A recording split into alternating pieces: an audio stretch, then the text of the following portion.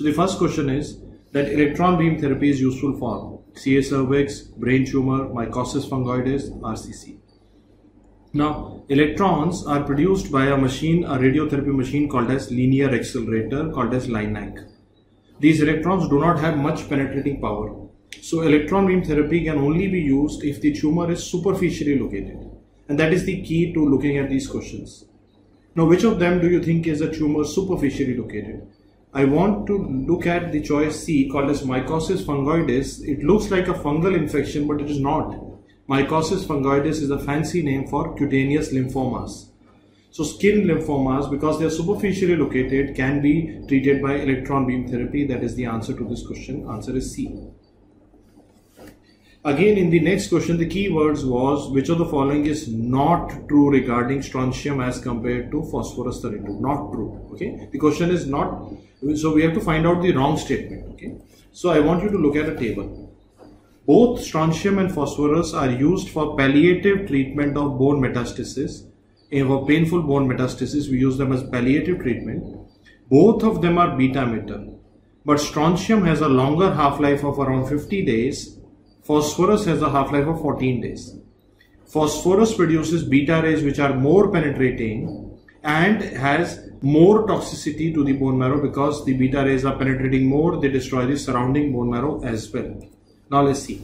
The choices were in this question, strontium has deeper penetration is wrong. It is phosphorus which has deeper penetration. Strontium has longer half-life is correct. Strontium is better suited than phosphorus for palliation, yes, because it has lesser toxicity. So B, C, D are correct statements.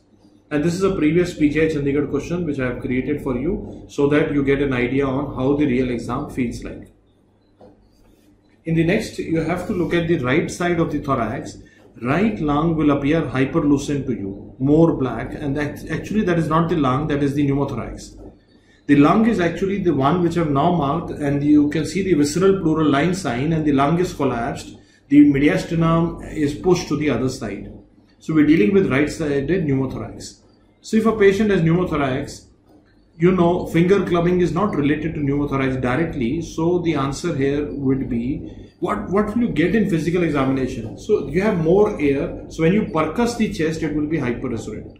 So this is how I integrated question where I have taken X-ray as the basis but I have kept the basis as general physical examination. The answer is hyperresonant chest on percussion. It is a pneumothorax. Next is an emergency patient with focal neurological deficit. You have to find out on the CT scan what is the finding. So I want to show you the arrow marked structure. This is the left middle cerebral artery. In this patient, the left middle cerebral artery appears hyperdense, more white. Why? Because there's a thrombus inside. So as early as 12 hours after onset of stroke, dense MCA sign can be visible on a CT. So it is indicative of hyperacute infarction in the CT scan, which is the answer to this question. This is a patient with road traffic accident. We have done fast. BP is normal, pulse is normal, vitals are stable. So when you look at this patient's fast, you can see the liver, kidney and the arrow marked area is the fluid in the Morison's pouch. In a patient with trauma, we considered this fluid to be blood. So there is blood in the Morison's pouch, there is hemoperitoneum. But the patient is hemodynamically stable. So we have to evaluate and find out why there is blood in the peritoneum, what is the organ which is injured, what is the severity of injury. So you will actually do a CECT here. If the patient was unstable, I would have gone to laparotomy as the answer because the fast is positive. But in this question, the answer is clearly CECT because fast positive, vital stable, we go for CECT. This is a previous NEET image in this exam that I've given you. There is a destructive lesion in the radius of this patient, but inside the destructive lesion, you can see a linear, dense, a very white area that is called as sequestrum. So there is osteolysis with sequestrum, destruction with sequestrum, dead bone. Sequestrum when you see on x-ray is considered the hallmark pathognomic for chronic osteomyelitis. Well, once you see it, you know we are dealing with chronic osteomyelitis and the arrow mark, that white bar-like dense structure is actually a uh, sequestrum. In the next image, you can see in front of you a T2 weighted MRI image and a diffusion weighted MRI image you can see bilateral infarction this area is the thalamus. So there is bilateral thalamic infarction, which is seen hyperintense on diffusion weighted MRI as well as on T2 weighted MR. Why would you have bilateral thalamic infarction? So thalamus is supplied by posterior cerebral artery. Sometimes from PCA you have a variant artery which supplies both thalami that is called as artery of Percheron. So if artery of Percheron is blocked you will have hypersomnolence, increased uh, sleeping and you will have bilateral thalamic infarct that you see in this picture. So this is uh, Percheron territory infarct. Artery of Percheron supplies the midbrain and bilateral thalami.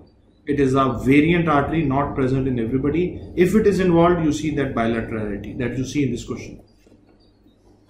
Again, a previous NEET image for you, you have to identify the investigation.